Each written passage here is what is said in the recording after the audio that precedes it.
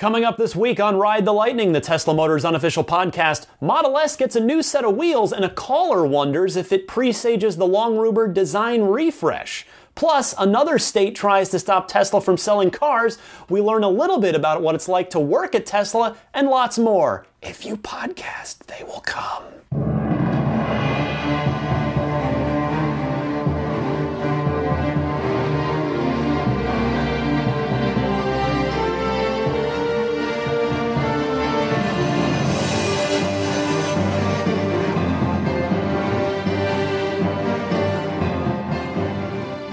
Welcome to Ride the Lightning, the Tesla Motors unofficial podcast, episode 32 for March 13th, 2016. My name is Ryan McCaffrey, also alongside the great Maggie the Boxer, who is currently gnawing on a post dinner nylon bone, which you may hear in the background of the recording at some point this week.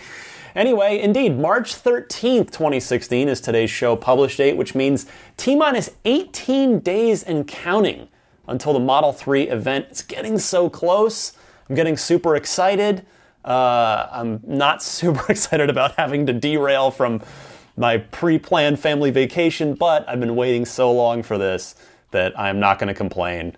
Uh, I can't wait to see this car. I can't wait to, to put my $1,000 down. It's getting close. Before I kick off the show this week, I wanted to give a shout out to Brett, a Tesla Motors Club forum user, uh, listener user slash listener who was listening to this podcast, that's what I was trying to say, in his Tesla when he got rear ended and then the other driver took off, a hit and run. And get this, he, in his post, he said that there were traffic cops right there, and the traffic cops told him to chase the other car. He wisely did not do that. I am honestly not sure I could have been so calm and collected in the moment, particularly if my dream car, that you know, hundred thousand dollar dream car, had just been hit. Uh, I don't know if you know some sort of just rage or adrenaline would have taken over, but man, shout out to Brett for kudos for keeping your cool. But the good news is, in the update from Brett, his car will be good as new soon. He's also installing the dash cams uh, so that he can record these things in the future. He can, he'll get the plate uh, next time if it ever happens again. Hopefully, it won't. Uh, so that's why a lot of Model S owners are doing doing dash cams for this exact kind of reason, front and rear. Uh, Brett, I want to say I hope you'll still listen to the show and that this doesn't create a negative association for the podcast with you. That you don't suddenly think, "Oh man, if I listen to this, I'm going to get hit." Uh, I, am I'm, I'm making a joke of a of an unfortunate situation, but uh, yeah, glad Brett's okay and glad his car is going to be okay. Thanks for listening to the podcast, though. I will say that it has been almost endless rain in the San Francisco area this week. I just drove back from uh, our, my brother-in-law's house. We went down and had dinner with them. They're they're down in the South Bay. We're up here in the city, and man, it's it's just a straight shot. It's all freeway. It's about 45 minutes of just all freeway. And it's just the pouring rain, so I've got my speed down to like 55. And you know, I'm wondering, does how well does does autopilot work in the rain? Like it's as long as it can see the the line markers, right? So, as I, the whole time I'm thinking, man, because it, it's a you know, my family's in the car, uh, and I'm. It's it's it's a it's stressful. At least it is for me to drive in those kind of conditions because you got to watch watch out for people doing dumb things that become a lot dumber in bad weather, and it's you know the visibility's impacted, and uh, it's just it's tough. And I was just thinking, oh man, if I could be letting the car drive at 55 right now, and just and I could relax a little bit, just still keeping a close eye on everything, but just chilling back a little bit, that would have made a huge difference in my stress level getting home. So one day I will I will look forward to that in about two years from now, hopefully. Uh, hopefully not more than that. Um, but yeah, it's uh, I know this is this is I'm not supposed to say this since California is in a bad drought and all, but maybe you know maybe the the, the weather gods will see fit to grant the Bay Area a, a, dry winter the year that I take delivery of my Model 3 so that I get nice weather to drive it around in when I first get it. Uh, before I start the rest of the show, we'll, we'll get to it. We're going to do a couple a hotline, a couple phone calls to kick things off. But I want to remind you that the Model S referral program, version 3.0, is still going. And if you use a referral code when you're buying your Tesla, you will get a $1,200 credit towards your home charging installation. So I wanted to give you Peter Kersgaard's code. He's from Denmark. He kindly wrote in and uh, was super genuine and said, if if uh, if I win the Model X, which every owner that has a referral used gets an entry into a raffle for a free fully loaded Model X. And Peter said that if if somebody uses his code, uh, that he and and he were to win that raffle and win that Model X, that he would actually give it to me. And I have every reason to take him at his word. He seems like a very sweet person. He's written into the show a number of times. So uh, if you are listening to this, in fact, I know there was a gentleman on Twitter just today that was that was telling me he listens to the show and was looking to actually he, he's like man i listened to your show and now i'm going to i'm trying to decide between a 90d and a p90d so i don't know if i can find it but uh, anyway the code to please use if you are listening to this and you plan to buy a Tesla in the next 30 or so days. The, the short link is go to ts.la slash Peter6387. That's ts.la slash P E T E R 6387. You will get a $1,200 credit towards your paying for your home charging installation. And uh, Peter in Denmark will get an entry into the Model X raffle, which would then fall to me should he win. So please use that. And with that, let's get to the first couple phone calls. Again, I'm on, I want to break this up because I, I love all of you. I'm getting such a great response. I really, I really feel like uh, the, the, you guys are really just starting to call in and have a good time and, and participate in the show. I really appreciate it. I really love it getting lots of phone calls again this week. So I will again split them up. I'm gonna, we're going to start with a couple here, then we'll get to the news for everybody that wants to, to talk about the news. And then after the news, I'll do a few more phone calls. So, first up is Joe, who calls in with a Model X sighting from the East Coast. Uh, you know, I've been I talked about last week how I still haven't seen one out and about. So, uh, Joe, what did you see? Hey, Ryan. Uh, this is Joe. Uh, first time caller. Been listening to the show since it started. Uh, I was just calling to tell you that here on the East Coast, I did actually manage to see a Model X out in the open. Uh, my wife and I were shopping here in Allentown, Pennsylvania, and she noticed that there were two Teslas sitting across from where we parked, and one of them did actually turn out to be a Model X P90D did look like it was the signature red. So they are actually making it out to the East Coast, even if you haven't seen them on the West Coast. Just thought it was kind of interesting and call and tell you you're doing a great job on the podcast. Joe, I'm glad to hear this. Uh, uh, the the actual sort of relevant piece of information for the audience that I can tie into your call is that uh, VINs have now been issued that are up in the five thousands. So Hopefully, that means that many more X's are coming very soon, and that X sightings will no longer be like unicorn sightings, no matter where in the United States you live. So, uh, glad you spotted one, and look for a lot more Model X's on the road soon if these VIN assignments are any indication. And by the way, I, I did find the uh, guy on Twitter today, the podcast listener. His name is Ahmed Abdullah. I hope I probably pronounced that wrong. I did my best. Ahmed, I do apologize if I if I got your name wrong, but yeah, he tweeted me today and said, "I'm thinking of getting the Model S, but not sure if I should go for the 90D or P90D." Wrote him back, and then he said, "Been listening to the podcast, and you've sold me on getting one." So, Ahmed, if you buy one, first of all, you're going to love it, no matter whether you go 90D or P90D. I've driven 85D and it is quick.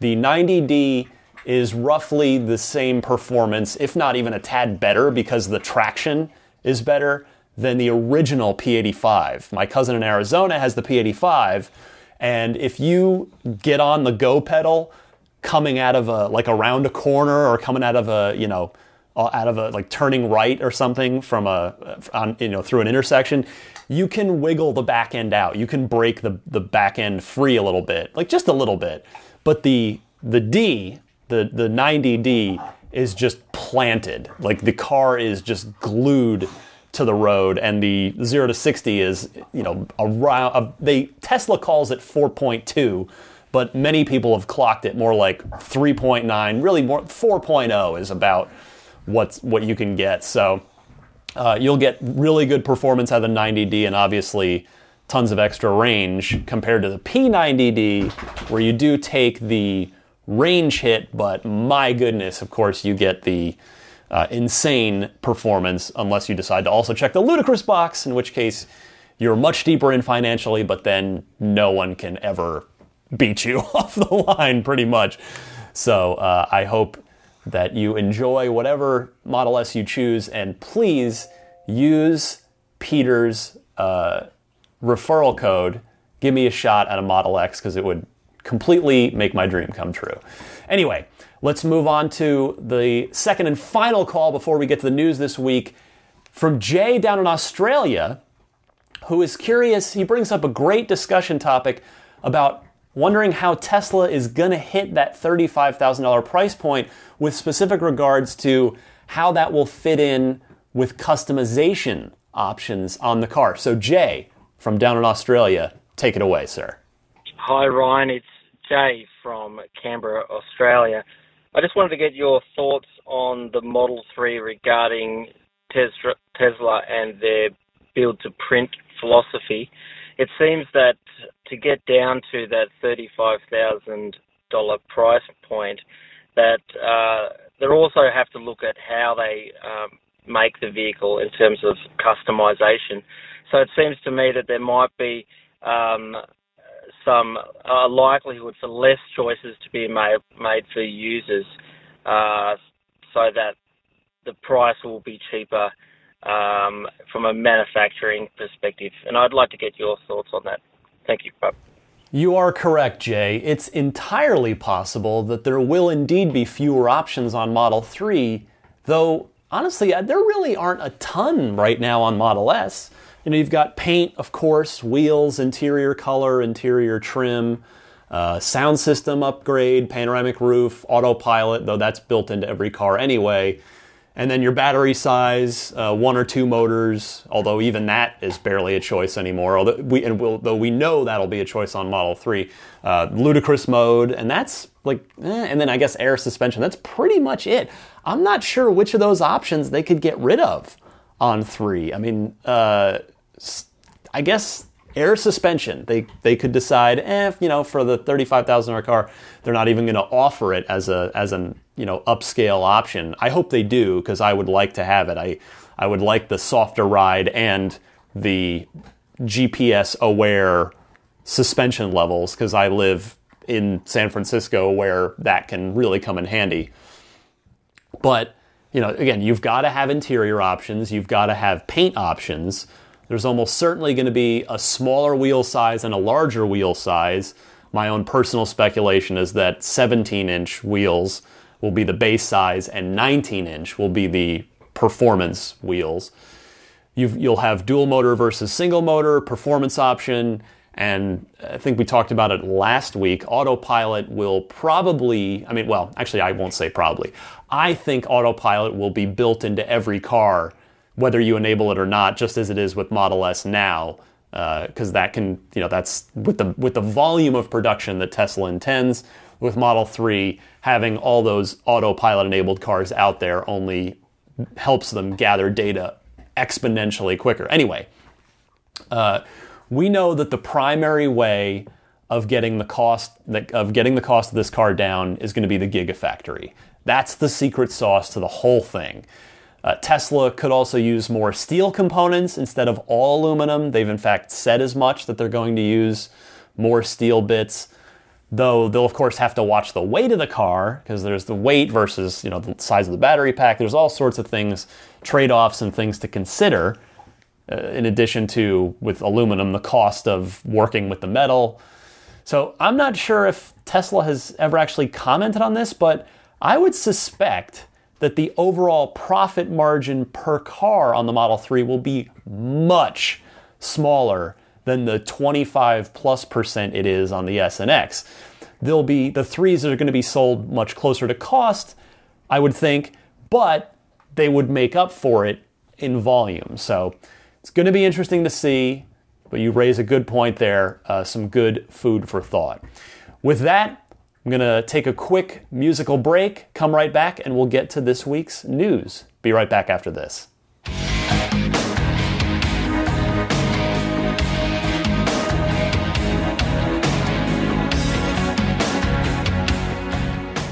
Welcome to the news. First up this week is something I missed right at the tail end of last week before I recorded, and that is Tesla ditching the stock 19 inch wheels on Model S, and they've introduced a new 19 inch Silverstream wheel as the new default. They're basically mini turbines, every bit as much, if not more so, than the Cyclones, which are a $2,500 option currently, and the Cyclones are not a 19 inch wheel as well. In fact, they're so much like the turbines and they're so similar to the Cyclones that I personally can't imagine why anybody would spend 2500 bucks on the Cyclones. So, with that in mind, I am wondering now if the Cyclones are going to be phased out altogether or possibly replaced with another mid priced wheel upgrade option that's probably still a 19 inch wheel, but just a different style. Personally, if you haven't taken a look at them yet, they're right in the design studio. So if you just go right on teslamotors.com, Personally, I think that these slipstreams look better than the old 19s, but obviously wheel style is almost 100% subjective. Uh, still, regardless of what you think of them, all three current wheel options now have a very similar design language. It would seem that uh, Tesla chief designer Franz von Holzhausen and or his team are tired of looking at the five-spoke 19-inch wheels all over town down in LA and would prefer to see the turbine style wheel on every car. Now, on a side note, owners have posted on TMC that those five spoke 19s are actually a lot more of a pain to clean than they look. And I know it's easy for me to say this since I don't own a Model S and am thus not faced with the prospect of paying a fortune for 21 inch tires, but I personally would absolutely go with the 21 inch turbines. Costs and tread life be damned. To me, they just look too good. They look too good. To me, they the 21 inch turbines really finish the aggressive look of the Model S in a way that uh, the, any of the 19 inch styled wheels just don't. But then again, pardon me, I also don't have to worry about snow here in the Bay Area, so it's even easier for me to say that uh, than many Tesla owners. But I'm having having trouble today, boy. Anyway, I really hope Tesla keeps the turbine style wheel for Model 3 because I think it looks really nice. It's somewhat futuristic and honestly, now that they're also offering the turbines on Model X, of course, that's the 22 inch wheel option, the uh, top end wheel option on Model X, the turbines are this close to becoming part of Tesla's overall design language. So maybe we will see them on Model 3. I guess again, T minus 18 days until we find out. Now, of course, the prototype that we'll see on March 31st whatever wheels it has on it are certainly not at all guaranteed to make the final version of the car, but if it is sporting turbines, that means there's a decent chance that, that they will. All right, our next call, uh, actually, pardon me, I wanted to take a call on this from a gentleman. I couldn't quite pick his name out. I believe his name's Amalor, but if I've mispronounced that, if I didn't get that right, I, I sincerely apologize. He's from Houston and he's wondering he, bring, he poses an interesting question. I'll let him take it away. Go ahead, sir. Hey, Ryan. Uh, this is Anwar Bekim Bias, a Tesla enthusiast in Houston, Texas. I wanted to leave a quick comment or I guess a question. uh, about the new Slipstream wheels that Tesla has announced as a default wheel for the Model S. Do you think that move indicates that there's a revamp or a refresh coming for the Model S here in the next few weeks? Thanks. Enjoy the show. Bye. You know, this is that's a great call because honestly, the thought of the slipstreams indicating a design refresh hadn't even occurred to me. You know, that refresh of the S has been rumored for quite some time, really out, with no factual basis. I mean, it's, it's really just hearsay, but it's this rumor that doesn't seem to want to go away. Now, your theory is an interesting one. I would personally lean towards no, mostly for this reason. If the slipstream wheels were part of a refresh, wouldn't they have waited to reveal them as part of said refresh? Wouldn't you know putting them on the cars now take away from some of a potential refresh's thunder? But then again, Tesla has a long history at this point of simply making upgrades and changes to the car whenever they're ready rather than waiting for some arbitrary time like a new model year or, for instance, a body design refresh. So, you might be right after all. I'm still leaning towards no on this one, but you've moved the you've moved my needle on this further back towards the middle with your call. So, excellent call there. Uh, next story comes to us. I know you are. Are you guys getting tired of hearing these stories as much as I'm uh, getting a bit weary of doing them? It's another week, another state level legal battle that Tesla has needs to engage in. This time, the Virginia Automotive wow, could I butcher that more? The Virginia Automobile Dealers Association has filed a lawsuit against Tesla claiming Tesla and the state's DMV commissioner Richard D. Holcomb violated a 2013 agreement that Tesla could not own or operate a second dealership in the state. There's already one until August of 2017. Tesla, of course, claims the suit is, quote, entirely without merit. Here is Tesla's statement, quote, the agreement expressly states that it does not have any effect on any future application that Tesla may file and does not restrict Tesla from further petitioning the DMV for additional stores. That is what Tesla has done, and both Tesla and the DMV have complied with all laws in doing so. We will vigorously defend against VADA's lawsuit, that would be the Virginia Automobile Dealers Association's lawsuit, and continue to fight for our customers and consumer freedom in Virginia, end quote. Now, you know, if I were prone to conspiracy theories, I might come to the conclusion that all of these state level dealer difficulties happening virtually simultaneously. I'm talking about Indiana, talking about Connecticut, talking about Michigan and now Virginia, etc. I might think that all of these happening at the same time wasn't a coincidence. That maybe it was all some sort of bigger concerted effort. That maybe NADA is in the pockets of big oil, which is in the pockets of the Koch brothers. Now, really, I'm not sure if it runs that deep, but I will say it wouldn't surprise me at all if this was part of a larger effort by the North American uh, Dealers Association at the very least. On this note, I wanted to thank a commenter on Fortune's website who uh, commented in reply to this story.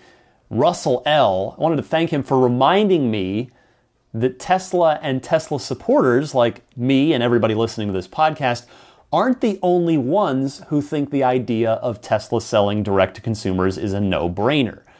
The federal government agrees too. Guess what? In a blog post on the Federal Trade Commission website last May, the FTC wrote, quote, For several years now, there have been reports of the challenges faced by Tesla Motors in selling its luxury electric cars directly to consumers. In state after state, the company has faced legislative and litigation resistance to its business plan to sell its products without using a network of third party dealers like other auto manufacturers. Over the past year, and this is now from May of 2015, Over the past year, FTC staff have urged in a blog post and comment letters to legislators that state prohibitions against direct consumer auto sales by manufacturers should be eased. Our point states should allow consumers to choose not only the cars they buy, but also how they buy them. So, there you go. The federal government is on our side on this one. This is a state by state. This is the, the North American Dealers Association. Maybe it runs deeper than that. Who knows if you if you want to dig into it more, but these these uh, one after the other, state by state by state, does not. This can it seemingly is a little much for to be a coincidence. Finally, this week in Tesla news, Steve Jurvetson, a Tesla investor and the owner, by the way, if you're not familiar with Steve, he is the owner of Model S Founder Series VIN number 00001. He has VIN number one. If you uh, happen to, there was a video of Steve taking delivery of his car from from 2012, back when, uh, and and he had like it was it's a signature red car, and all like a bunch of Tesla staff. He took it, he took delivery at the factory. He takes the car and just tons of factory employees are there applauding. It was a, it's a really cool. Look up the video if you haven't seen it. And by the way, if you're curious about this, the story goes like, why doesn't Elon have VIN number one? Which of course, Elon does have VIN number one of Model X. If you're curious about this, the story goes that there was a boardroom meeting that Steve was in, and of course Elon was in, and they'd sort of locked down all the details of the car. And Steve raised his hand and said, "Wait, so we have a price? We're all set?" And I, you know, Elon in the room said yes. So Steve took out his checkbook, wrote a check, and slapped it down on the table and said, "I'm first in line." I don't know if he actually said that, but and then Elon had to go. Elon had to settle for VIN number two in that scenario. Um, now, uh, where I was going with this, besides the background on Steve, anyway. So, Steve posted an infographic from the San Francisco Chronicle that includes the results of a survey of tech company employees about a few different things, uh, one of which, meaningfulness of your work. Guess who ranks number two? That would be Tesla. Guess who's number one? SpaceX. Guess which company ranks number two in uh, is, is, meaningfulness of your work, but also num- ranks number two in stressful environment. That would also be Tesla. Guess who's number one again? Also SpaceX. So it seems that Elon Musk fosters a similar culture at both companies, which I would sum up as pressure, but worth it. Now, my completely subjective interpretation of this data is that it seems like Tesla is the kind of place where you would do, it would be some of the hardest work of your career, but also the most memorable and satisfying. That it would be one of those things where you, you'd always look back on your time there uh, in a, in a, in a you know, loving and, and sort of fond way. Of course, I think it would have to be it would have to be meaningful for employees to continue putting up with the high stress. Now, I will tell you, I had a chance to meet a small group of Tesla employees from the factory recently, and I not only it was just cool to meet them, but uh, I, I just was so happy to meet them because I wanted to tell them all the same thing, which I did one by one as I as I was meeting, sort of talking, mingling with each one. I told them all the same thing. I said to every one of them, thank you for doing what you do because no one else in the car world will do it.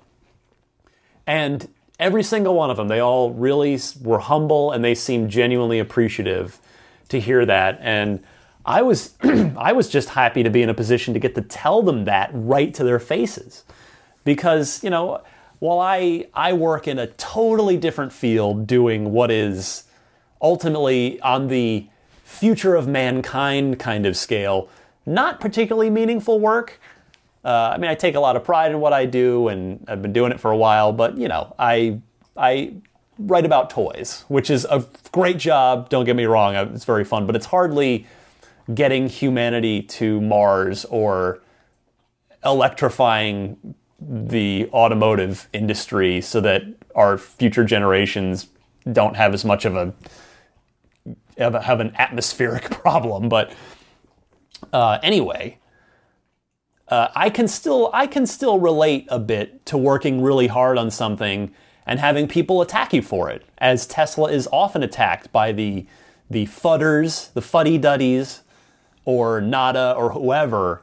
So, and I and I also know how much it means to me to be told to my face that my work is appreciated by someone completely outside of your sphere. So, uh, the point is, if you if you get to meet anybody who works on these cars, who works on Teslas, who builds them or, or contributes to building them in any way, be sure to tell them thank you because I, I bet you it'll make their day. I'll bet you it'll it'll mean a lot to them.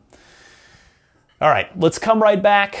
That's this week's top Tesla news stories. Got a few more phone calls for you in the Ride the Lightning hotline right after this.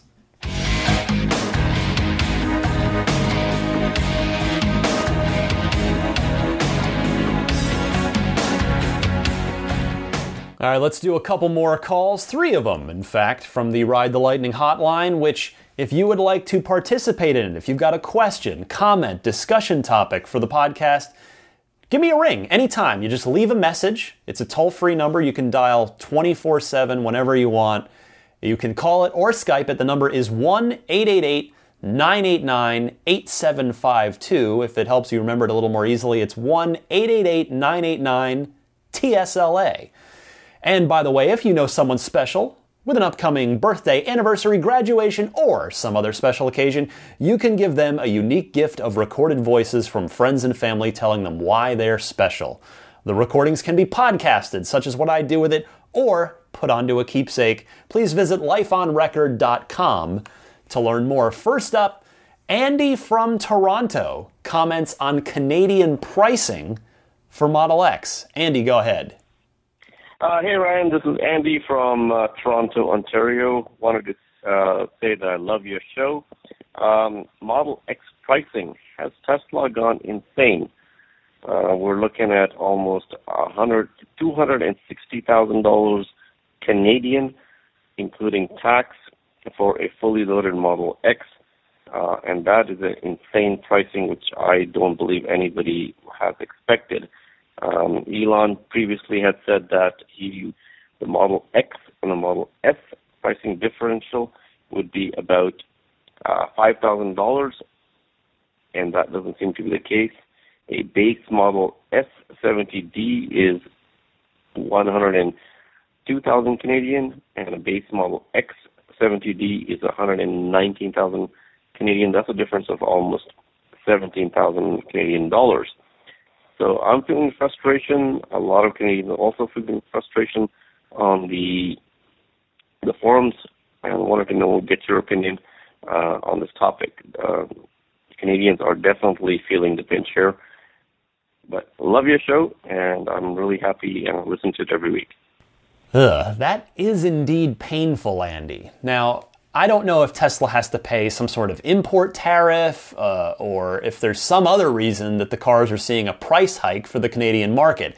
It's extra unfortunate because, of all places in North America, you guys could really use the X with your Canadian winters. I would suggest making your voice heard on this.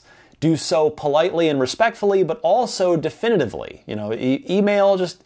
Uh, email customer support at Tesla. Just you know, get them get them to hear your concern. I mean, you, you obviously you support Tesla, you want to own the vehicle, but the price of the car is unfair for Canadian customers. Uh, now, here's something, just a thought that occurred to me.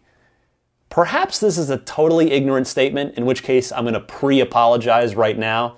But since you're in Toronto, could you order and take delivery of the car in, say, Cleveland, where there's a Tesla store? Because uh, I looked, I, there's there's not a store in Buffalo which seems to be clo- the closest major American city to Toronto. And of course, there's Detroit, but uh, you know we all know the Michigan story right now. But Cleveland, is it? Could you do that? Is that is that possible? Uh, you know, take, could you take delivery there and then pay the American price and then bring it home? I don't know. It's I again, apologies if that's a dumb a dumb idea, but I'll just throw it out there. I'm not afraid to look dumb. I'm just I'll, I'll do my best to help. Uh, while we're talking Tesla in Canada, let's go to Jason from Ottawa, who has some more detail on the Ontario EV incentive program from the government that uh, we got clarified a bit on last week. So, Jason from Ottawa, go ahead, sir. Hey Ryan, it's uh, Jason from Ottawa, Ontario, Canada here, not to be confused with the Jason from last week from Ontario, Canada. Um, I just wanted to give a little more detail on the Ontario Electric Vehicle Incentive Program that he talked about. Uh, the, re- the rebate, um, uh, it has a few conditions with it um, that you must meet to get the maximum rebate possible. Uh, first of all, your car has to have a manufacturer suggested retail price uh, less than $75,000. Uh, if you if the car is more than seventy five thousand dollars, you only get a maximum of three thousand dollars in rebates. So I'm hoping that with the conversion to Canadian, when the car sells here, that it will be less than that. Uh, presumably, their thinking is that if you can afford a car over seventy-five thousand, then you don't need a rebate. Second of all, in order to get the full thirteen thousand dollar rebate, the car must have a battery pack of over sixteen kilowatt hours, which isn't a problem for the Tesla. So hopefully, uh, fingers crossed, the car comes to Canada for less than 75,000 Canadian so that I can get the full rebate as I fully intend to put my money down to get in line. Uh, love all your podcasts. Keep up the good work. Uh, take care. What can I say except that is super helpful, Jason. Thank you so much for calling in. That that I have now learned a lot about uh, buying a Tesla in Canada over the last couple weeks, which is really good information to have in case anybody asks me about it in the future. I love it. I love the the help here. Happy to learn something, and uh, I'm glad that you should be able to get your full rebate on uh, Model 3 unless I guess I'm well, I guess unless you kit it all the way out, then it's probably going to be over the 75,000 Canadian, but uh, I guess depending on the Model 3 you plan to get, you may hopefully qualify for that whole thing.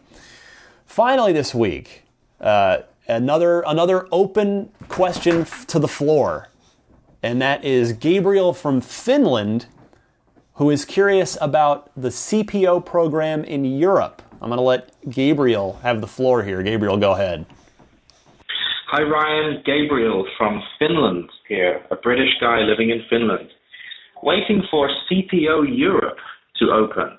I can see that in America you can get some good deals on Model S for 45, 50,000 US dollars. Any ideas? Any news? Anybody know anything about this? CPO Europe would be really handy. Hey, keep up the good work and uh, talk soon. So, yes, I will again look to the audience who has proven very, very helpful week after week. Uh, I could not find anything about the CPO program in Europe. Has anybody out there heard when Tesla's certified pre owned program may launch in Europe? Please feel free to call in or email. The email is, of course, teslapodcast at gmail.com. And as I mentioned a minute ago at the top of this segment, the toll free call in number where you just call in, leave a message anytime. You can call or Skype, I should clarify. 1 888 989 8752.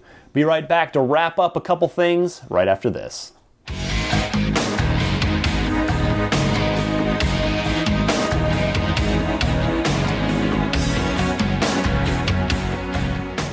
Maggie the boxer is just over there, over there nesting on the couch. There's a there's a blanket, big blanket on the couch. Does anybody else's dog do this? Where she just, what is she, now? She's just looking at me because she heard her name. But where they'll just take the blanket and then kind of dig at it with their paws. Now, now she hops off this. She's been called out. They like dig at it with their paws and pick it up with their teeth and rearrange it to exactly how they want it. I always crack up whenever she does that. Anyway, Uh, we're just about at the end of the show here. Please follow me on Twitter if you don't already. I'm at DMC underscore Ryan. You can always email me if it won't fit in 140 characters. The email address is teslapodcast at gmail.com. If you're a video gamer, you can find me on IGN.com each and every day doing something or other. Every Wednesday is my Xbox podcast that I lead with my team called Podcast Unlocked. You can find my t shirt website at nerdstyles.com. Got about 10 video game slash geek inspired t shirt designs, as well as a coffee mug. Uh, be sure to check out and subscribe to Dave T's weekly Tesla newsletter. It's a very easy website to remember teslaweekly.com. It's a very useful resource, and again, cost you nothing. If you haven't heard yet, the podcast, this one that is, is now on Stitcher. Look in the games and hobbies section and the subcategory car enthusiast. If there's anywhere else you think this podcast should be, please let me know, and I'm happy to look into getting it there. And uh, speaking of which, in fact, tune in in your Tesla, in your Model S or Model X. You can get the show. Got to jump through one little hoop. Uh, you got to add it to your favorites. So go on the TuneIn website, search for Tesla Podcast or Ride the Lightning You'll find it, just follow the show, and then it'll show up in your favorites in the car. And you can easily listen to it there, as my friend Jeff does, and as Brett was doing prior to some horrible person rear ending him and then taking off and never being held accountable for it. Karma will come back around on that person, I'm confident. Finally, I'd like to thank the wonderful folks, as I do each and every week. TeslaRati.com is a great resource for Tesla fans. It's a site run by Tesla owners. Uh, it's it keeps track of everything going on in the world of Tesla. It's a it's a lovely website. It's, it's actually it's, even the design of it's nice. Uh, Gene and the team have kindly been uh, mentioning the podcast there. They they list it each and every week. A new episode comes out. Gene, super appreciate you and your team helping to get the word out about this podcast. That's all I that's all I can ask for, right? Like is to get the word out. Then people will, you know, if they listen to it, maybe they won't like it, maybe they will, but that's the challenge is just getting people to hear it, cutting through the because there's there's 7 million podcasts for everything. So just just getting people to hear it is is a victory unto itself and I appreciate the fine folks at teslarati.com for helping me do that. That is it for episode number 32 of Ride the Lightning. Counting it down. Oh man, Model 3 is getting so close. I've seen I have I still haven't seen a render out there that I'm super in love with, but um, that's okay because Tesla already. I'm sure they. I can't imagine they saw a render and went, "Let's do that." They have their own ideas. It's going to be curious to see what the ideas, what the final idea is that they're going for. It's getting close. We're going to continue talking about it.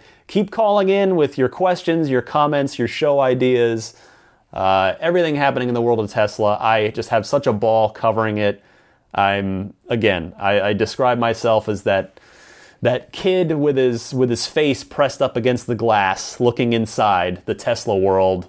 Uh, but when Model 3 is unveiled on March 31st, and I put my thousand dollar deposit down, I'm finally going to get uh, a foot in that door, in you know, to to one day be on the other side of that window and be able to do an even better show for you from being able to relate to everything as an actual Tesla owner. But hopefully, folks appreciate my perspective as you know just a just a, a raving lunatic of an enthusiast who just believes in these cars and in this company and uh, and the, the not only what they're doing but the way they're doing it.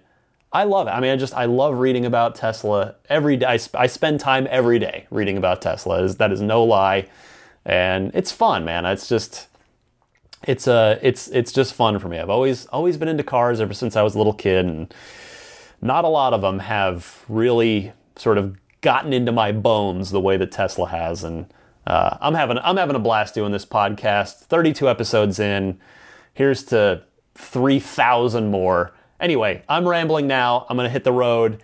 I will see you all again this time next week. Happy electric motoring.